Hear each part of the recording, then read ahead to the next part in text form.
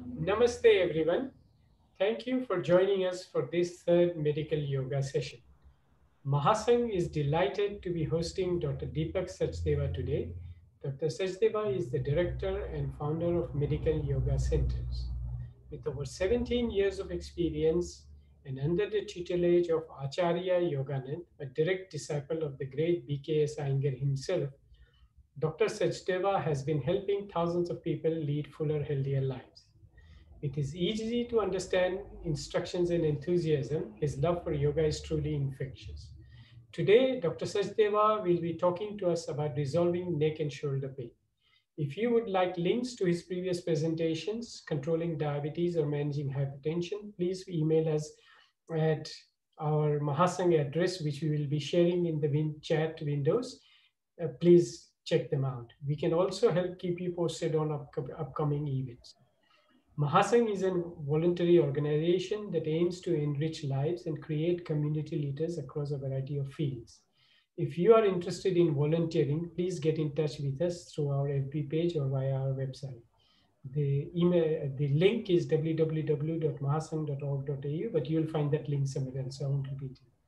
If you have any questions for Dr. Sachdeva, please post them in the chat box for Zoom participants or on the comments box for YouTube and Facebook viewers. Hope you enjoy this show. I'm handing over to Dr. Sachdeva now. Hey everyone, thank you very much for joining in. Today we are going to talk about the neck pain and shoulder pain. And I hope this webinar will be quite helpful for, for almost everyone because we all use computers and mobile phones these days. So there's a lot of stuff to be shared with you. So I'll quickly start and I'll just present my first slide to you and we'll quickly take it on from there.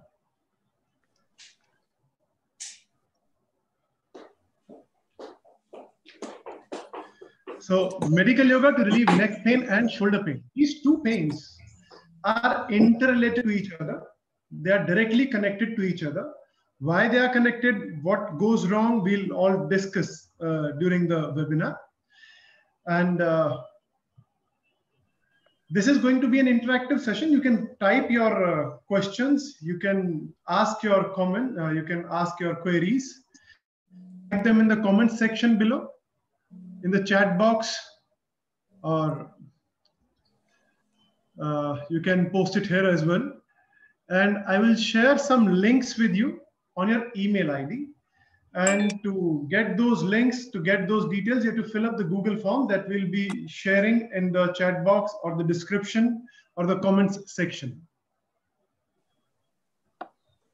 So why this topic? So the topic is neck pain and shoulder pain. And what you can see on the screen is we have chosen this topic because pain is the single biggest reason to demoralize people to live longer. If I'll ask you how many years you want to live for, most of the people, okay, so let's let's start from this question only. How many years you want to live your life for? Just write down the answers in the chat box or in the comments section. Write down your answers. How many years you want to live your life for?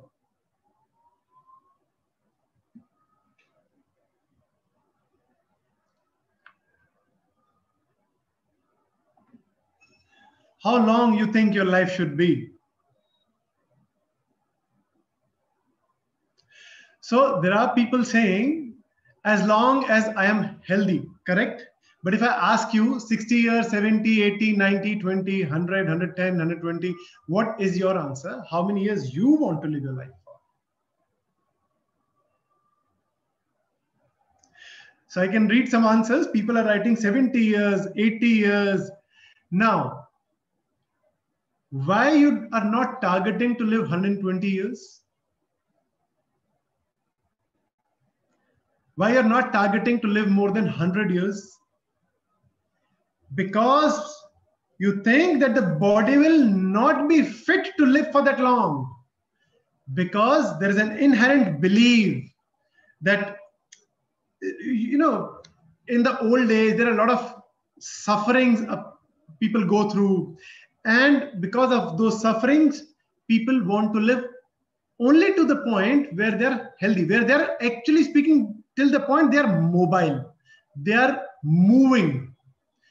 If they have diabetes and blood pressure, they can manage it with pills. They can still manage it with you know one or the other medicine. But if there is pain, if the knee joint doesn't work, if the neck hurts, if the lower back pains, if there is slip disc, then these conditions are disabling conditions. And people think that I want to live pain free. I want to live only to the point be mobile. I can do all my household chores myself. So, pain is the single biggest reason that demoralize people to live longer.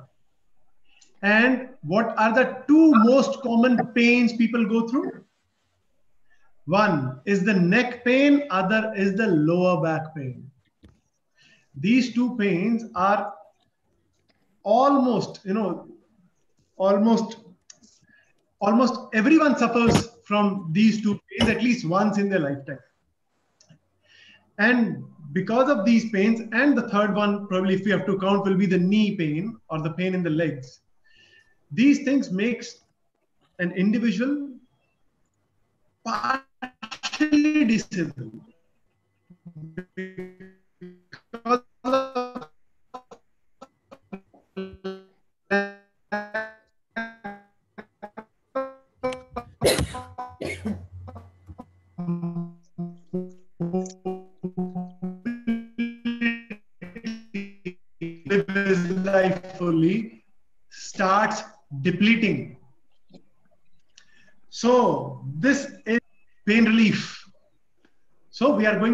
on neck pain relief and shoulder, put lower back pain relief and knee pain as well.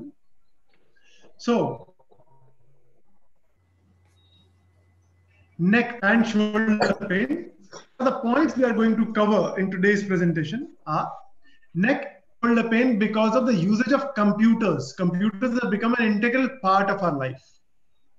Means everywhere there is a computer. Everywhere you you know whichever department you go to, whether you're working from home or whether you are you know working in a grocery shop or wherever you work. Now there are come to the IT people. It applies to everyone in the society almost. Next point will be neck and shoulder pain because of the usage of mobile phones. Now, mobile phones are used by one and all, one and all. So, next, neck and shoulder pain due to faulty sleeping posture. Neck and shoulder pain due to faulty sporting activity that you choose and other reasons that cause neck and shoulder pain. So these are the main points we are going to cover in today's uh, webinar. And uh, I'm quite sure that these points will touch upon everyone's life. So neck and shoulder, these two things are interconnected.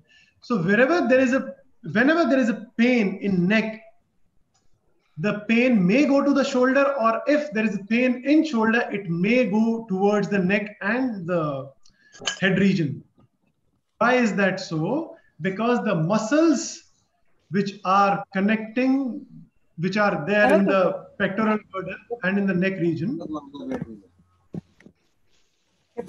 These muscles connect the neck and the shoulder. Now, when we talk about the muscles of the physiotherapist so, awareness. There are some muscles on the backside. This is called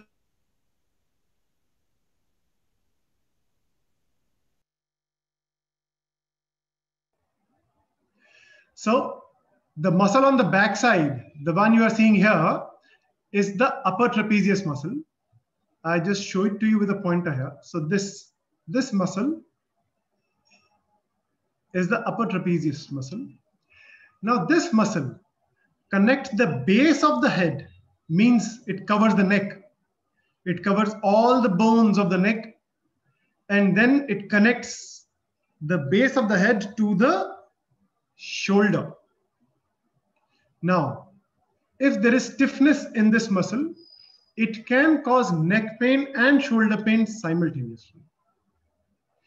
Or it can also make your neck and shoulder go out of alignment.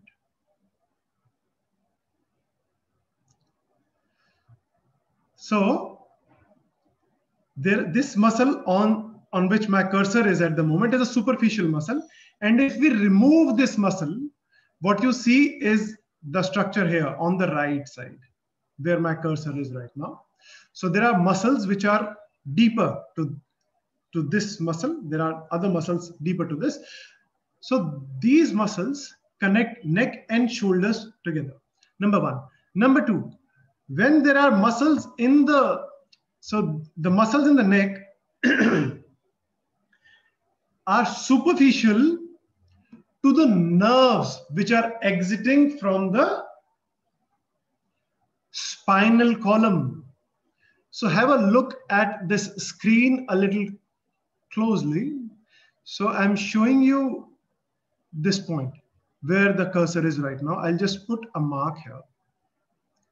So this point, this point, this point, so all of these points, these are seven cervical vertebrae, and these are the ones which are which are holding the head in its place, which are responsible for maintaining the balance of the head with the help of the muscles and the nerve roots the nerves exit from neck and they travel in the shoulder and from the shoulder to the arm. So if there is any condition related to the stiffness of the neck the pain may radiate to the shoulder the pain may radiate to the arm. So there are nerves which are traveling from neck to arm through the shoulder. So that is another reason why neck and shoulder pain goes together. And why all, everyone who is suffering from neck pain, they'll have some pain in the shoulders or vice versa. Now, this theory is all okay. What happens when you use your mobile phones? So have a look at this picture. When you're holding your mobile phone straight in front of your face, the weight on the neck muscles is approximately 10 to 12 pounds. If you bend your head a little forward, so if I'm sitting in from, from the side view, so if I'm bending it a little forward, the weight on the neck muscles increases to 50 pounds. And if I sit with my posture hanging too much downwards, the neck muscles are under extreme stress and this is what the condition becomes. So the because your head is forward all the time so the muscles on the back of the neck they become stiff. They are overworked. They are strained. Why? To hold your head backwards. To hold your uh, to hold your neck in place so it is exerting itself. And because of that, your muscles become stiff. Now, does it happen overnight? No, it takes years and years together to develop a forward curvature and then these muscles get tightened.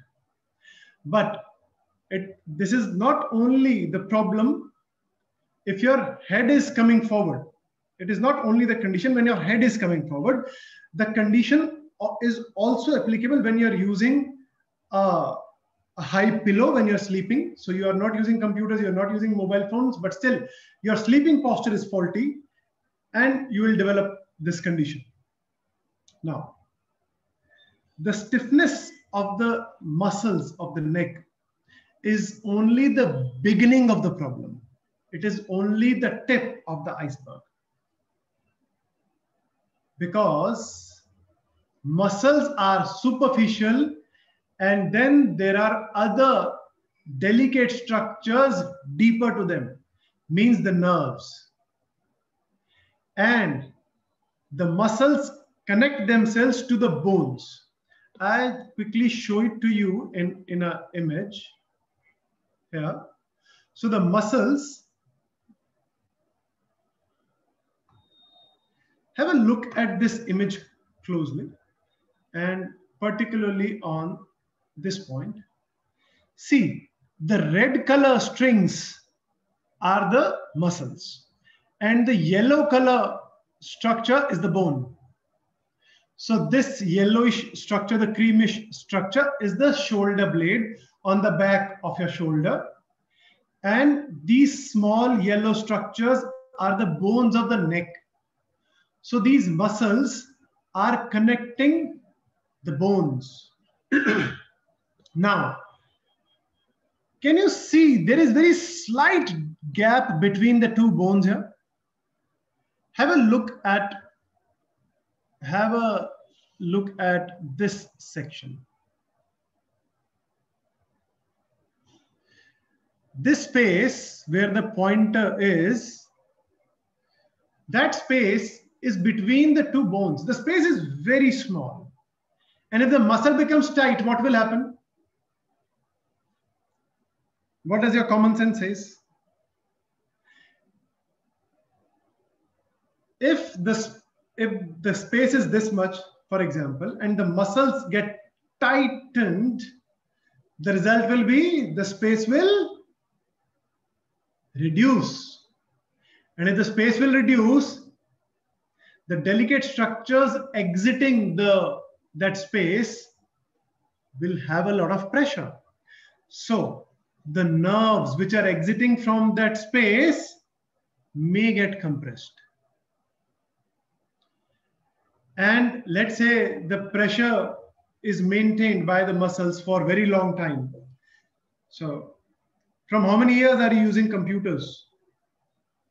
From how many years are you using your mobile phones? From how many years you are using a pillow when you're sleeping straight? So from those many years, you are putting pressure on the neck. So if you are putting too much pressure on the neck, from let's let's not say too much pressure. Let's say you're putting in small amount of pressure, but from very long time. What will happen to the neck muscles?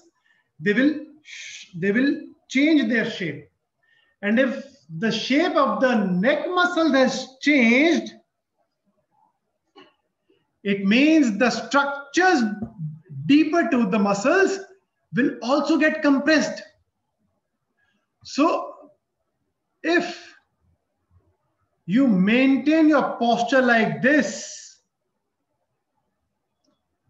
for more than 30 days, now, don't get shocked when I say just 30 minutes, because that is the medically allowed time for a neck to use any any any any any gadget in this form of um, a laptop or a mobile phone. 30 minutes are granted in throughout the day. So, what is the solution to uh, to the problem if you're using it for eight hours or 10 hours a day? I'll, I'll come to that also. So stay relaxed. So what will be the effect of the tight muscles on the bones? If the muscle gets tightened up, the space shrinks and the bones will change their shape. Body remodels itself. So if the bones will start changing their shape, now that will be a condition that is more or less permanent. And that needs a lot of effort from your side to reverse it. So, and, and I want you to type in the chat box now or in the comments section now. Have you ever felt stiffness in your neck? Or what was the first time when you felt stiffness in the neck or when you felt the neck is getting tired? I'm talking about uh, when when you use computers, when you're doing your work, what was the first time you felt that stiffness has started setting in? So you felt it? Yes, for sure. So how many years ago you felt that stiffness for the first time? How many years ago you felt that neck stiffness or back stiffness for the first time? So there are people saying 30, 35 years must be veterans in their field and you know, a lot of years of experience in their respective fields. And there are people saying 15 years, 20 years, five years. So some of you even can't remember from how many years uh, how many years ago you felt that stiffness for the first time. So that was the first time your neck muscles got stiff. That was the tip of the iceberg. If you release that stiffness by some stretchings by doing the correct exercises by applying some heat or by taking corrective measures and the problem is solved that's perfect. You are out of it the problem had started and you came out of it but what about those who feel that stiffness chronically? What about those who are continuously having that stiffness? In those cases, the muscles which were tight for a very long time must have changed the anatomical structures of the neck in, in another few years. So if you're feeling muscular stiffness, it does not mean you have cervical spondylitis. There are very less chances that you'll have cervical spondylitis. It is if it is only muscular stiffness. So mu muscular stiffness is grade one of the problem. You address it there and then, and the problem is solved forever, forever, forever. If the condition becomes chronic and it becomes spondylitis, then you need to do some exercises once in a week, once the condition is recovered, and you can still live a pain-free life forever. Now, the permanent changes which occurs in, in, in, the, in, the, in the body, we have to identify them. And if you have that condition, let's do a self-test on it and find out whether you have this problem or not. So it's a simple test. You have to go and stand against a wall like this model is standing in the image one. Forget about the tick mark and the cross shown on the image. Don't, don't focus on that. Focus on focus on the on the posture. So your thorax from the backside means the backside of the chest should touch the wall and your hips should touch the wall. That's it. These two points should touch the wall. Forget about the calves. Just touch the back and the hips to the wall. So let's say this is the wall. So stand against the wall, facing the opposite side, your back towards the wall. And you have to now check if your head is touching the wall or it is not touching the wall. So you don't have to push your head back. Don't do that. Just stand normally. Just go there and stand. Now, the bigger the gap is, the more the chances that you have a forward neck curvature, forward neck posture. It's a simple test. You can do it on yourself. And the image shown here in the in the second Uh, part of this photo. So this head is going forward as compared to the back. Now, if I take you on a slide previous to this one, this second image is what I was talking about. So the neck muscles become tight and these tight muscles will lead to various various medical conditions in the leg. and mobile phone and the usage of laptops is a major contributor to this problem major contributor to this problem. Now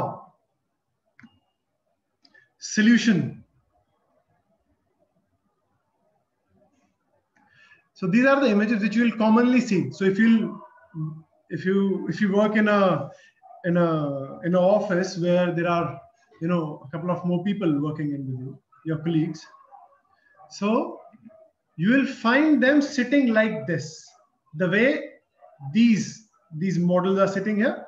These images are actual uh, images of people when they were working on their workstation and the images were clicked. So these are not exaggerated images. These are the real images. Where this is how people sit when they are working. And in all of these positions, there is one thing that is common. Number one is the thing that we have already discussed. So there are two things common in all these photos. First is the forward neck curvature. So these people have their neck, you know, poking forward, moving forward.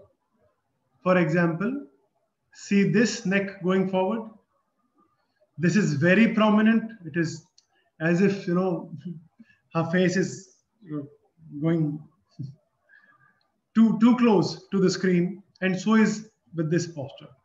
Now, there is a second thing that is common in these three pictures, and that is the forward shoulder posture.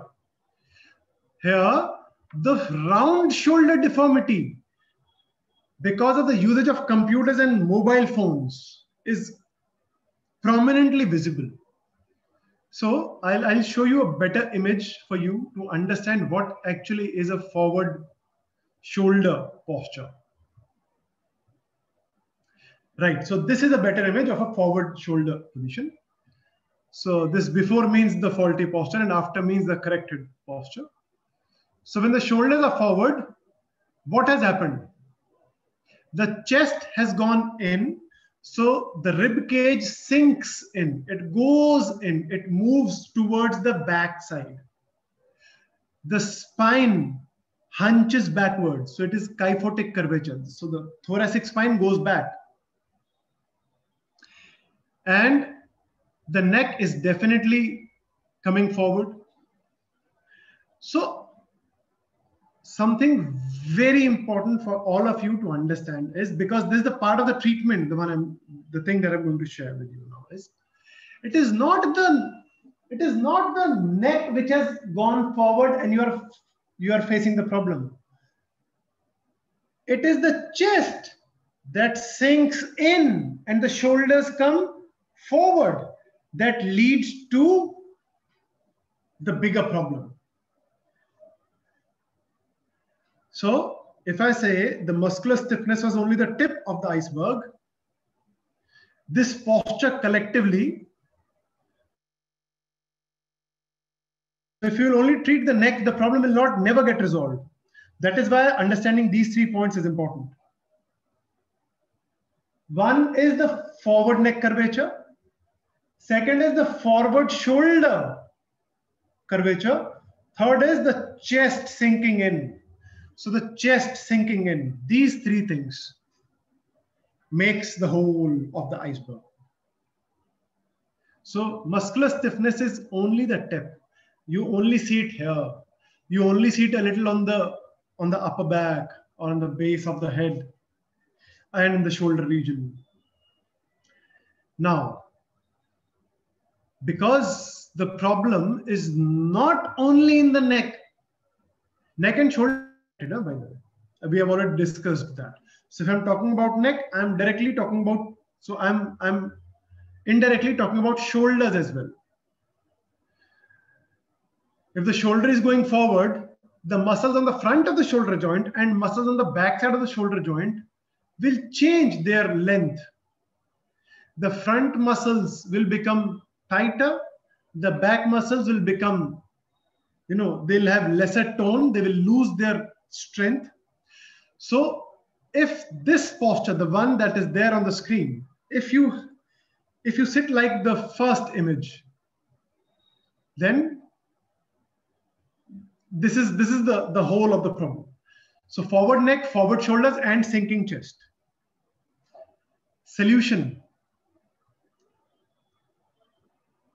So when I talk about this photograph, this, so when I talk about the photographs of uh, these individuals, these shoulders are forward, these shoulders are definitely forward, and these shoulders as well. Now,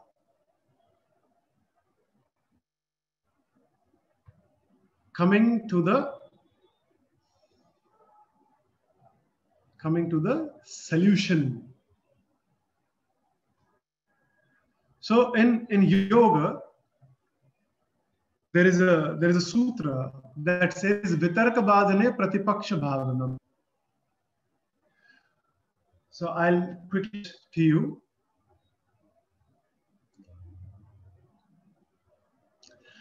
So if your forward curvature is like this, your face is going forward, push your chin in. Keep your two fingers on the on the chin and push it back in. So the the way it is shown here in the image. So push your chin back in. Very simple thing. Now, what I am going to, uh, what whatever I'm sharing in, in this webinar are the simple tips which can be delivered online? Because conditions need medical attention. So for those who have serious problems, they may contact us for their specific sequences and their full, full set of exercises. But what I'm sharing here are the general exercises which are helpful in almost every neck and shoulder case. So first thing that everyone can do, and, and yes, one more thing, everyone can do does not mean that it applies to 100% of the population. There will still be a little percentage of people who will not be comfortable even with the basic things. So please listen and respond to the signals of your body. If your body says stop, please stop. If your body says I'm not comfortable doing this 10 chin tucks, please don't do it. Listen and respond to the signals of your body. Right. So this is the first and the very simple exercise that you can easily do. So for a forward neck curvature, keep your fingers on the on the chin and push it back. Now, when people do it, they do it like this. Okay, so when I ask you to push your chin back, what I want you to take your full head back. I'm not asking you to take your chin towards the chest. No, I'm asking you move your chin towards the back of the head. So your full face should move backwards. That is one thing, very important. So this is a basic correction.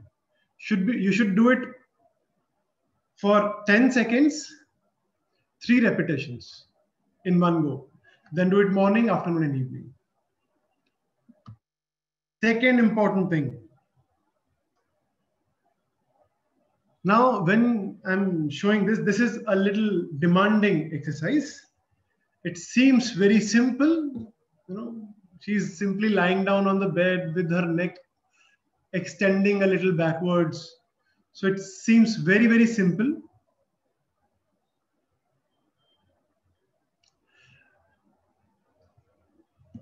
But it is it is demanding in in in some cases, especially where you you have giddiness, especially in the cases where you you know you feel pukish or you feel uh, nauseatic, you feel dizziness. So if you have any of those symptoms, do this posture very, very, you know, mildly. So they will there are a lot of images available online, right? But I've picked up an image where the person is only bending the neck slightly, slightly. So see, her neck is very long and she can actually take her neck a lot of, a lot downwards. But this is the right way of doing the posture. So you don't have to go very deep in the posture. You don't have to take your head a lot towards the floor.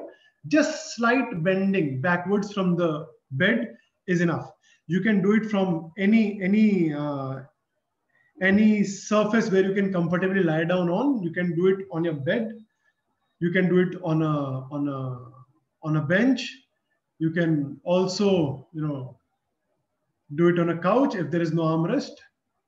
So any surface that is relatively firm, semi-hard, is good for this exercise.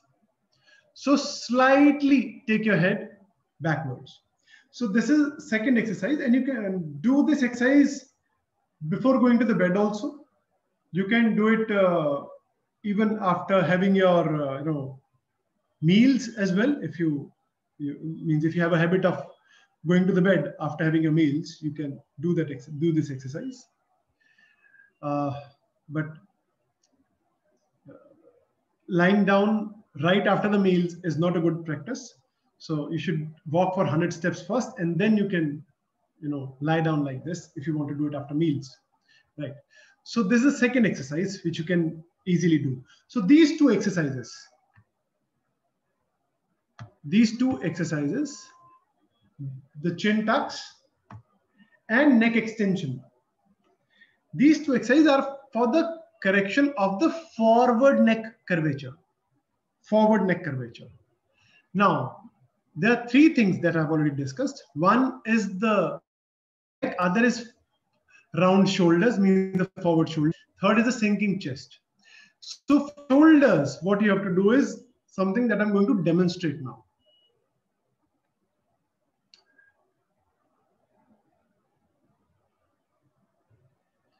Now,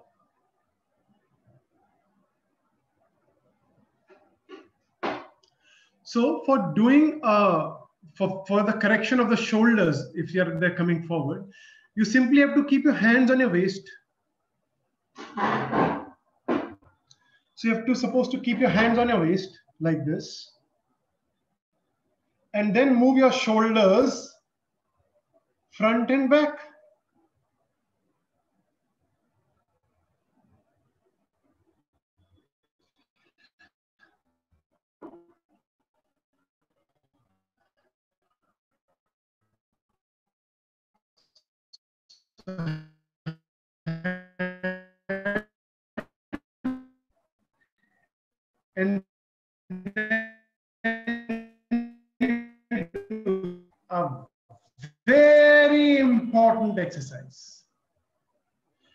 It is important. I'll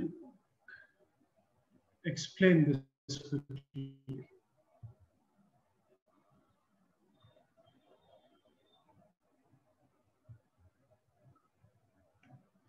So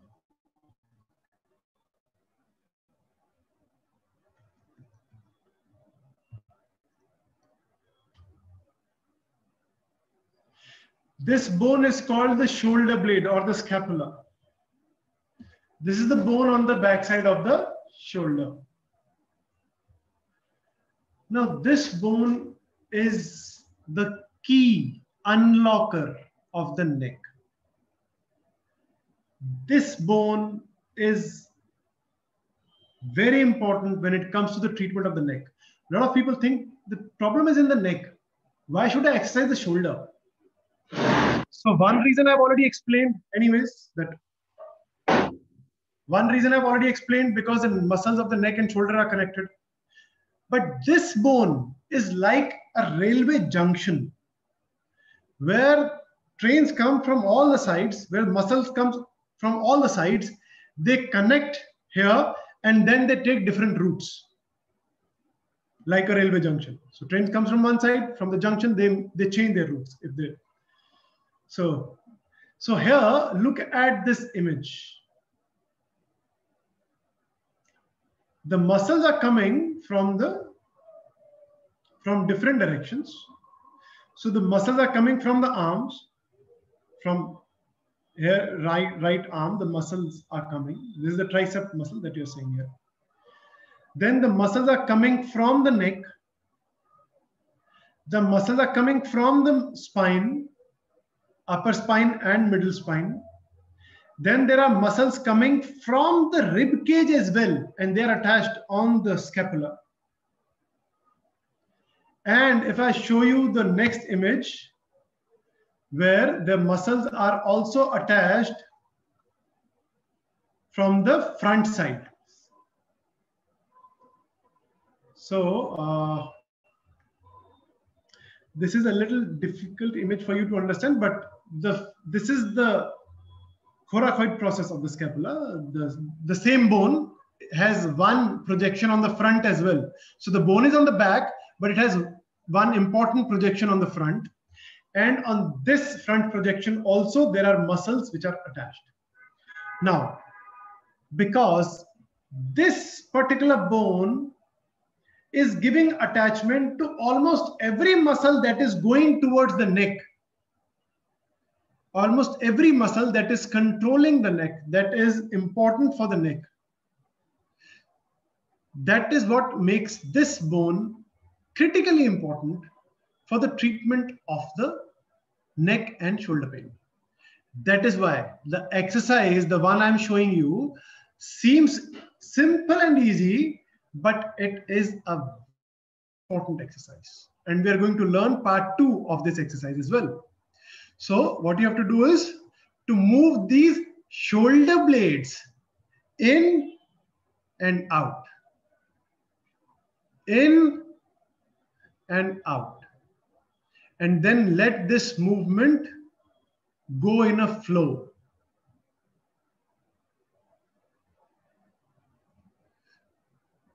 While doing this exercise, a lot of you will be feeling cracking sounds, clicking sounds, uncomfortable movement of the muscles here. So if that cracking, clicking sound is of, uh, of a moderate degree, continue with this exercise. If there is any pain or if there is any uh, moderate or high level of discomfort, please don't do it. But I don't think anybody will have that problem. You can almost everyone can do it. The only matter will be the number of repetitions. Some of you will be able to do it for three repetitions. Some of you will be able to do it for 30 repetitions. Right? Ideally, what we recommend is 10 times in one go and then three repetitions. So three, three sets. So this is one exercise which is absolutely important for the treatment of not just around shoulders, but also for the forward neck curvature as well as for the chest because shoulders connect this whole section. So this is the exercise of the pectoral girdle, you can say, right? And the second part of this exercise is, again, hands on the waist, and you're moving your shoulders backward. So you're making circular movement of the shoulders front to back. And you're only supposed to do backward rotation. Don't do forward rotation because your shoulders are anyways in forward position. So you should only focus on doing backward rotation. Again, do it for 10 times. So 10 circles and then three repetitions, three, three sets. Now, when you do these exercises, these are simple exercises. Still, if you have any discomfort, please stop doing them. And if your condition is, you know, more chronic, or if your condition is quite bad, you can, you should definitely get in touch with us, and we'll help you to design your sequence of exercise, and then we'll monitor your progress also. And in cervical cases, the results are very quick, very fast. So, so we have done in total four exercises so far two for the neck two for the shoulders so if i'll quickly uh, do a revision of the exercises the ones we have done so the first one is chin tucks chin tucks second is neck extension lying down on the bed and then taking your head a little backward. Then we are, I have demonstrated two exercises to you. One is in and out movement. Second is backward rotation. So in and out movement and backward movement of the shoulder blades. So two exercises. And these shoulder blade exercises are very, very important exercises. Now, the third part of it, the sinking of the chest.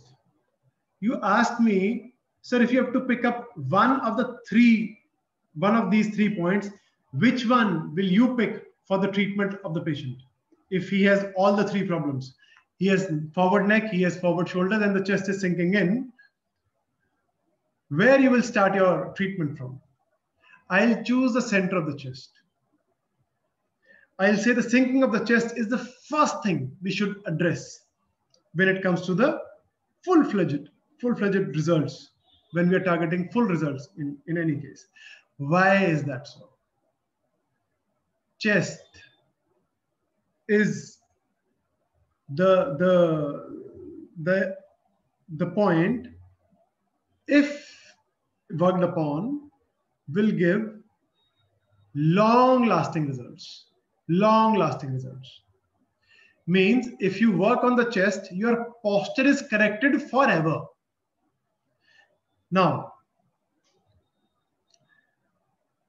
the chest if it is sinking in the shoulders will always have the tendency to come forward. If the chest is sinking in neck will always have the tendency to come forward. But if you lift the chest up, the shoulders goes back and the neck posture also improves significantly. So the lifting of the chest, the lifting of the sternum, the lifting of the center bone is very important for the treatment of the neck and shoulders, both.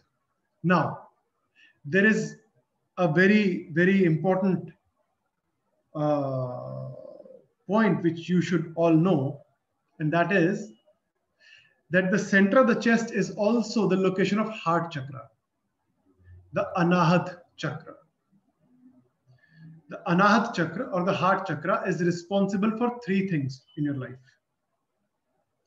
And and try to you know dig in your in your uh,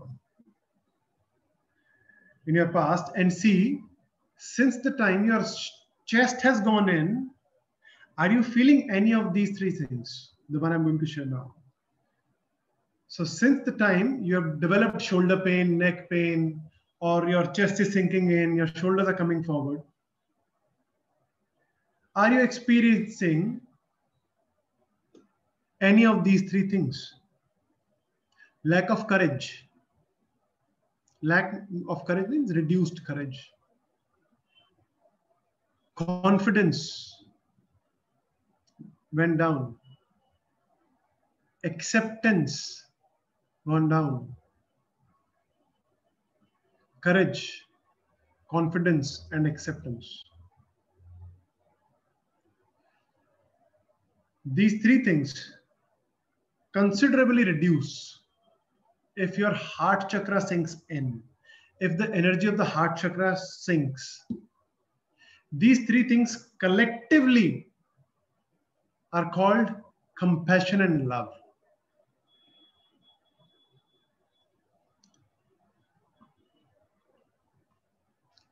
So you have to, you know, so if you'll work on the on the expansion of the chest, the energy of the heart chakra will also expand and with the expansion of the energy of the heart chakra, these three things will come as a gift to you. Your risk taking capacity will increase. It would have decreased if the chest is, is sinking in. Do you know what is the instruction given to an army officer when he's marching? When an army officer marches, what is the instruction? Chest up, chin up, look up, heel dig, hand swing, chest up, chin up, look up. So with every step they take, these are the instructions given to a, to a soldier. Chest up, chin up, look up, heel dig, hand swings. This is, this is their These, this is their, you know, natural, natural conditioning. This is their natural body type that they always stand with the chest up. We also have some sayings. Chhati chodi kare khada mere samne. And nowadays we also have a common saying, commonly known fact, chappan inch ka sina. So why chest is considered so important when it comes to courage and confidence and risk taking capacity is because the energy of the heart chakra lives here.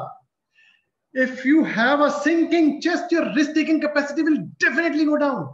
So, if you want to increase your own levels, if you want to increase the zeal, if you want to improve your courage and confidence, if you want to improve your relationships, if you want to improve love and compassion, expansion of the chest is very, very important.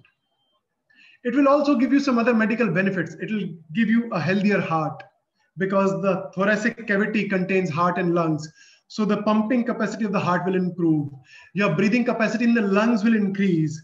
So there are going to be multiple benefits of the expansion of the chest. So if you'll ask me any of the three points, neck, shoulders, or chest, which one is going to be my first point to address the, the pain, I'll say work on the chest first. The energy level will go, the energy level will go up and the patient will improve faster. So expansion of the chest is not limited to the relief for the neck and shoulder pain. It is very important for your other spheres of life as well. So now one exercise for the expansion of the chest. And that is very, very simple exercise to do. I'll quickly demonstrate this exercise to you.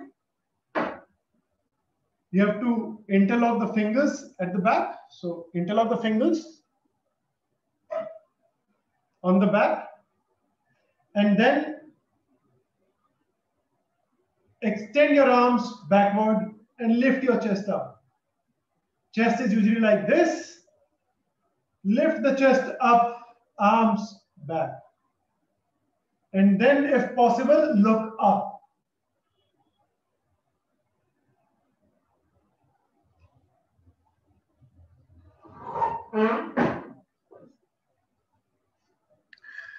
So, fingers locked, arms extended, chest lifted up, and then you look up to the ceiling. Hold this only for three seconds. Do it three times and you'll actually feel that your posture has improved significantly. You'll actually find difference in seconds in your behavior. Your body will love that technique.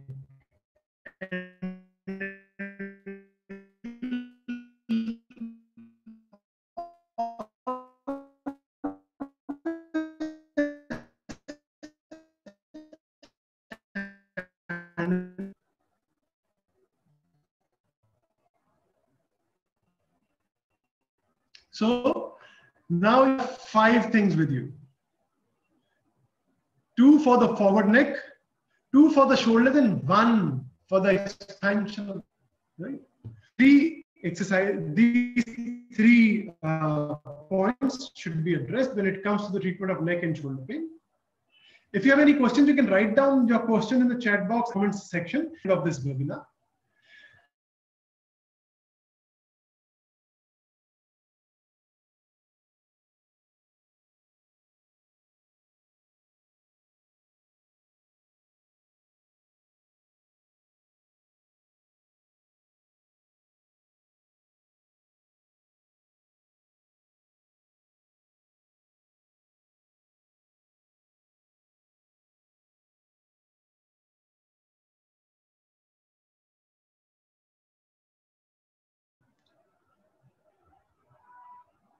All right, sorry, there was a technical glitch. So, so there are the five things you have to do, two for the neck, two for the shoulders, and one for the chest. Continue practicing these things regularly. And now, some other important points we are going to discuss here. And those are what should be the correct position of using a mobile phone? Do you think this is an important point? Yes, it is indeed. One of the most important points is this. So,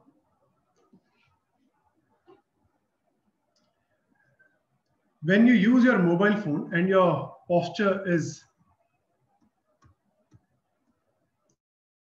the one I've shown. Uh,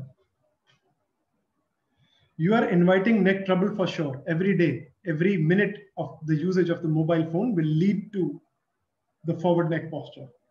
The solution. So if I'll ask you to keep your, I'll, I'll adjust my location so you can see my full arm and my actual body posture, how I want you to do this. All right. So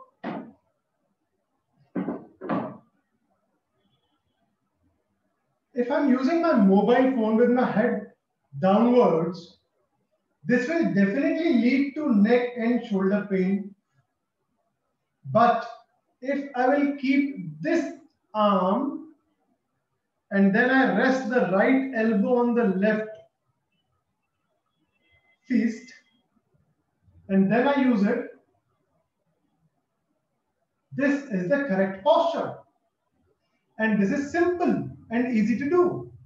If you do not use your left hand to support your right arm, then you will not be able to hold your mobile phone in front of your face for a long time because the shoulder muscles will get tired. So what you need to do is support this elbow with your other arm, with the fist of the other arm. So this is how you should use your mobile phone.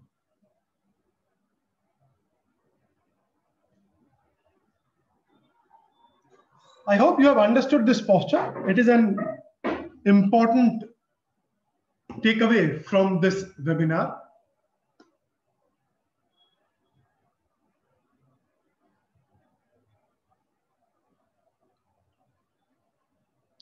Next thing is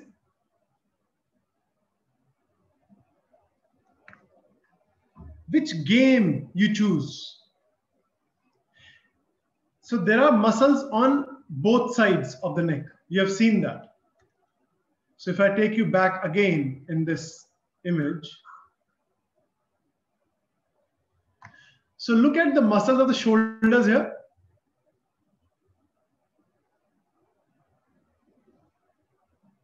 So the muscles on the left shoulder and muscles of the right shoulder are the same muscles.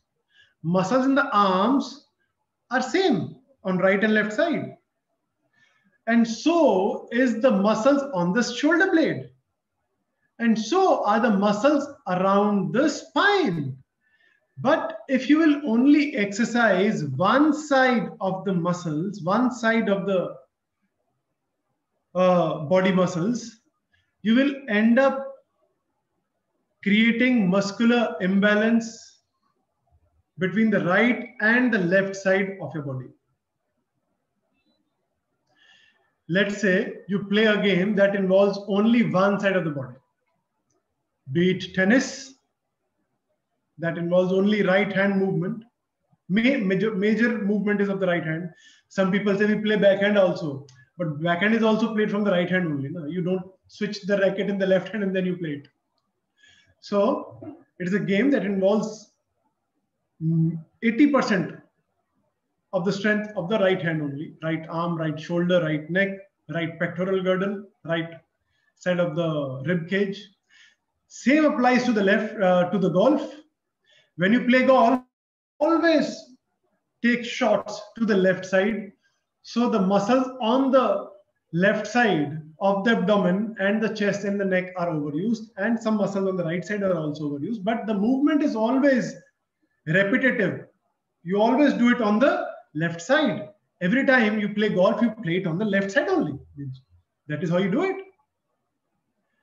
You talk about badminton you talk about table tennis you talk about any other game that involves one side is bound to create muscular imbalance. Muscular imbalance between the right side and the left side of the body. Now, when you wake up in your 40s to your health, you should pick up a game which involves right and left side of the body equally. For example, yoga, probably the best activity that you can do because it is not only physical, it is mental and spiritual as well. Swimming, that involves right and left side equally. Cycling, that involves right and left side equally. So any game that involves right and left side of the body equally is recommended. Now, for those who are already playing games that involves only one side of the body, be it bowling for a cricketer, be it uh, you know batting for a cricketer because he always bats from the from on like like golf.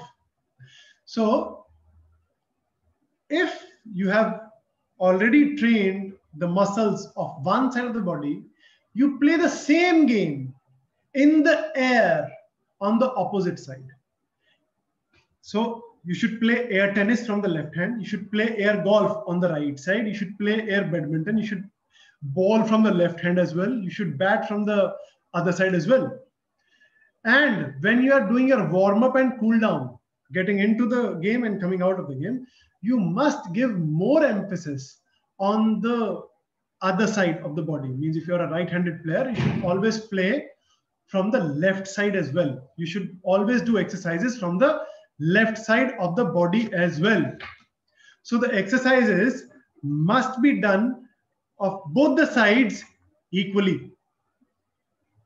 Now, if you choose your game wisely, you will definitely lead a healthier and a more balanced kind of a you know uh, healthy healthy healthy life.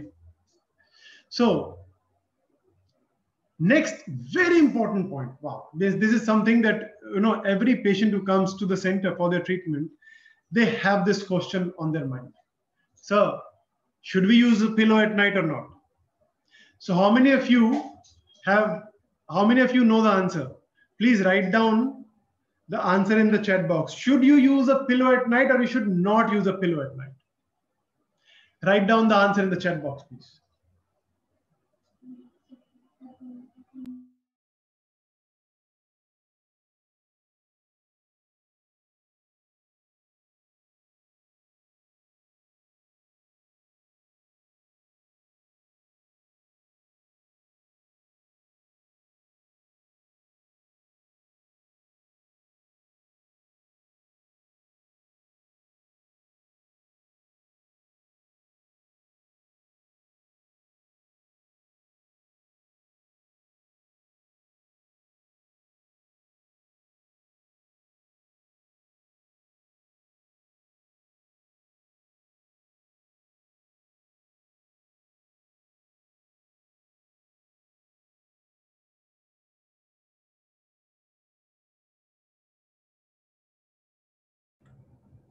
Hello, doctor. Sorry, you've gone on mute. Yep. So, should you use a pillow at night or not? So, the answer is if you are lying down straight, you should not use a pillow. If you're lying down straight, that means if you are lying down with your face facing the ceiling, you should not use a pillow. But if you are lying down on a side, you should use a pillow. Now, if you are lying down straight, means you're lying down with your face to the ceiling, you should not use a pillow because that will push your neck further in the forward curvature and will lead to neck pain and may also trigger arm pain. It will create some pinching on the nerve also. So avoid that. There are some conditions where using a pillow is allowed. I'll come to them towards the end of this conversation. And the second position, if you're lying down on a side, if you lie down on, let's say, one side, then you must use a pillow. You should use a pillow. Using a pillow is absolutely important at that time because if you'll not use the pillow, either your neck will fall towards one side that will lead to strain on the muscles on one side or you will keep your arm as a pillow so your head anyways need a support. So give it support. So if you are lying down on a side you must use a pillow. Now if i have to uh, tell you that there are some conditions where you can actually use a pillow when you're lying down straight. When you're lying down facing the ceiling, there are some conditions where you can use a pillow, and those conditions are sinusitis and respiratory problems like asthma or some other conditions where people are not able to breathe properly and they need to lift their head a little off from the bed to breathe properly. There are some conditions where there is a lot of mucus going from the nasal cavity towards the throat. So they need to keep their head lifted a little up now even in those conditions if you have to use a pillow you should use a pillow up to the shoulders up to this point. Should not use a pillow only to the base of the neck. You should pull the pillow under the shoulders. That will keep your neck pain free for longer time. So you should use a pillow at night. And there are people, you know, they, they keep switching their posture at night. Sometimes they lie down straight, sometimes they lie down on one side and then on the other side. But the fact is that majority of the of the people they either lie down on right or left side. People usually do not switch between the supine position. Supine means when they are facing the ceiling and the side position. They switch between the right side and the left side. They switch between the right side and the left side. There are hardly any people who switch between the straight supine position to the side position. But if there are any, then it is recommended that you should keep a pillow behind your head and keep it ready with you. So whenever you take a turn to the side, just pull the pillow and sleep. So keep the pillow ready all the night. Uh, uh, when you're lying down, keep it between your head and the bed. And when you turn, just pull it under your cheeks, under your ear and the neck and lie and sleep again. Now, a lot of people ask me, sir, when we're sleeping, we don't even know when did we turn the side. We're sleeping. We don't know when we turn one side to another side. So my answer to them is your body wakes up for one second to take the turn. Your body wakes up. Your body wakes you up to turn your posture, to turn your position. You have to tell yourself that whenever I'll turn, I'll pull the pillow. Simple. So your mind will remember that when you're turning, you have to pull the pillow. Simple. Because your body wakes up for one second when you're taking the side. Right? Okay, so you should use a pillow. You should keep use a pillow ready uh, with you when you know when you're going to the bed. All right. So I think uh, these are the main points that I wanted to share with you for, for today's session. Now there are some other some other things that I want you to know about your uh, about your shoulder and neck pain, and those things are if there is any injury to the shoulder joint, if there is any injury in the shoulder joint, when I talk about injury, I am talking about a bang on the shoulder or, or if there is a confirmed diagnosis that there is a muscle tear or a ligament rupture or any of such conditions, please don't do the exercises, the ones, uh, ones which are demonstrated here, but uh, you should consult your doctor and then only do it. But if you are doing these exercises and there is no discomfort, you can probably consider doing those exercises, but still stay aware towards the, the feelings your body is giving to you. Means listen and respond to the signals of your body, as I always mention that in my webinars. And there'll be no mistakes. So if you listen and respond to the signals of your body, there'll be no mistakes, right?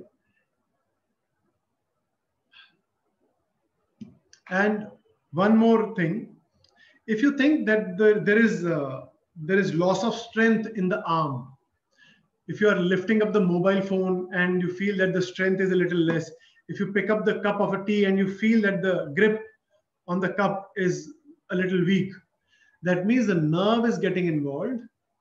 That means there is not sufficient energy supply to the arm, and and uh, do these exercises for a couple of days. But then you must also consult a specialist. Specialist means uh, maybe a physio or maybe a GP or maybe a, an ortho for that matter, and you must take that uh, you know you must take that a little more seriously if there is numbness tingling or if there is loss of grip in your arms.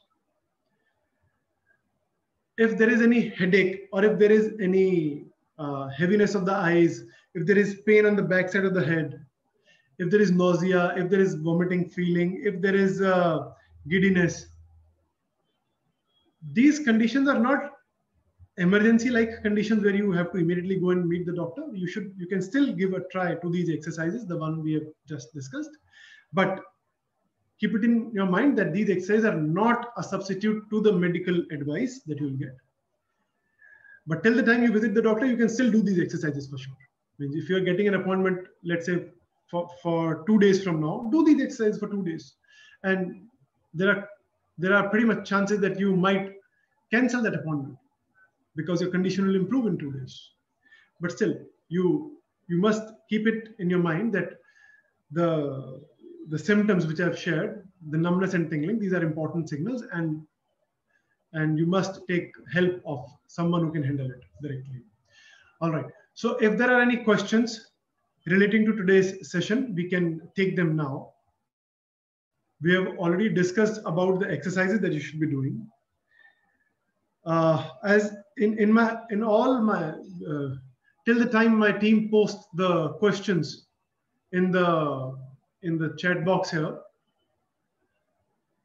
i'll share two important things one is vichar and other is ahar so there are three three gates through which a problem can set into your body ahar vihar and vichar. So if you're doing fault if you're taking faulty diet the problem can set in. If you're doing faulty activities the problem may set in. If your if your thoughts are faulty the problem may set in. So we have already discussed about the faulty activities. Posture is an activity. Lying down position is an activity your usage of computer is an activity your use of mobile is an activity so we have already discussed the second part that means vihar means the activities we have already discussed. Now the two other important components are the diet and the thoughts. So the ahar and the vichar. So as far as the diet is concerned, if there is acidity, if you are feeling hyperacidic, the neck pain and the shoulder pain may get triggered. So you must eat food that is alkaline in nature and you should avoid food that causes acidity. For example, tea, coffee, uh, tomatoes, uh, or uh, spicy foods.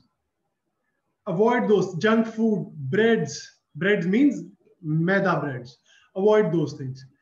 If you want to, uh, you, you should increase in your diet the full grains, the ones which have fiber. Maida is bad because it does not have fiber. Otherwise, anything that contains fiber is okay. So you should use full grains. So it helps cleansing your intestines better. So avoid acidic food. So and you must increase the intake of calcium and vitamin D through your you know through your diet. So white sesame seeds are very good. Mushrooms are very good for calcium and vitamin D. So you can increase the intake of these things in your regular diet. And the third thing is the vichar, means the thoughts. If your thoughts are faulty, faulty thoughts means the stressful thoughts. Faulty thoughts means overthinking. Faulty thoughts means thinking negative unnecessarily. Faulty thoughts means keeping things in your mind for a long time, which, you know, for, for example, not forgiving people. So these things unnecessarily create stress in the mind and stress leads to muscular stiffness. Muscular stiffness. Remember the first point? Remember the beginning of the problem is the muscular stiffness? So stress releases some hormones in the body, for example, angiotensin, which causes tension in the muscles and they lead to muscular stiffness. And that is the tip of the iceberg only. That is only the beginning of the problem only. So muscular stiffness increases tremendously if you have. So I'll be sharing some audios with you. Uh, you can share your email in the Google form the one we are sharing here in the chat box and in the comments section. You can fill in your uh, your email ID and your details there, and we'll send the uh, we'll send the guided relaxation audio that you can download in your mobile phone, use earphones, and start following those guided relaxation techniques. These are quick audios. You can follow them in your office. You can do them even when you're going to the bed or even when you're you know traveling you can do it sitting in a bus also so these guided relaxation techniques help you to relax your muscles these relaxation techniques help you to forgive some people who are causing trouble these guided relaxation techniques help you to stay calm to stay at peace to stay relaxed. So this is a very important part for the treatment of neck pain and shoulder pain. And I strongly recommend everybody to follow these quick five minutes, four minutes meditation audios, guided relaxation techniques to, to relieve the stiffness of the body. All right, so we have discussed ahar, vihar, and vichar. Now I'll take the questions. So the questions that I can see here are, what are the thoughts on the mobile phones at night time using mobile phones while lying down? Okay. Yeah. So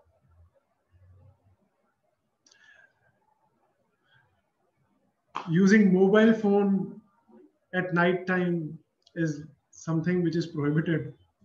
You should not take your mobile phone in your bedroom. You should always keep your mobile phone on charge in the drawing room or in the living room or somewhere outside your bedroom. Number one. And you should use an alarm clock in your bedroom if you want to use mobile phone as an alarm clock. Please don't do that. If the mobile phone is not there, your, your sleep will become so deep, so relaxed, so carefree. But it will not happen on the first day. Because in first two days, three days, you'll keep on thinking of the messages that pop up on your mobile phone, on WhatsApp, on, on other platforms all, all the night. So in, in, in a few days, you will develop this habit of leaving the mobile phone outside. So you should not take the mobile phone in your bedroom. That is the first point. If at all you have to use your mobile phone in a lying down position. See, the, the position is something like, means it is difficult to demonstrate here. But the easier thing is to, to lie down on the corner of the bed, on the corner of the bed. Keep a small stool on the side of the bed. And then suspend the right arm. Let's say you're keeping your mobile phone on the, using it in your right hand. And keep the right elbow on that stool. So you're lying down on the bed, corner, your right elbow is going down from the from the bed resting on a stool and the mobile phone is right in front of your face and your other hand is under the chin. So that is the correct posture. It is a little difficult to achieve so those who can do it may try doing it. Please give tips on exercises to reduce bruxism and teeth clenching. So the clenching of the teeth and uh, this problem is mainly because of the worms in the stomach. So I would recommend you should consider taking a dewormer the, the course of a dewormer is good, number one. Number two, thoughts. Clinching of teeth is mainly because you are stressed. You some thoughts which are creating stress. So guided relaxation techniques will help you to get rid of this teeth clenching problem. Uh, if there are no, no worms, you must get the, the dewormer treatment done and also start following these guided meditation techniques. And I would also recommend you to do these techniques more often. So instead of doing it just once in a day, you should do it thrice in a day. And uh, what I what we'll do is we'll share uh, an audio which is longer. So I'll be sharing some quick audios which are five minutes long, which you can do it in the office and anywhere, even when you're busy. But when it comes to the deeper relaxation, you need longer guided relaxation audios.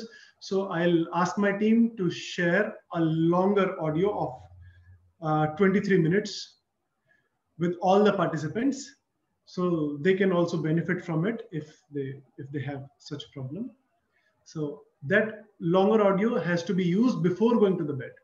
So when you just go to the bed switch off the lights and play that audio in the in in in some ipod or something. Don't take your mobile phone with you. Play it in some audio playing device. All right. So there are more questions coming in but the time is now running out. I'll quickly answer two of these questions. So uh, if there is pain in the, okay, on the left side and in the front of the chest. So all left-sided pains are not the cardiac pains, number one. But the cardiac pain is something that, you know, that is scary in nature. So it is recommended to rule out that possibility first get get it ruled out and then get on to the exercises.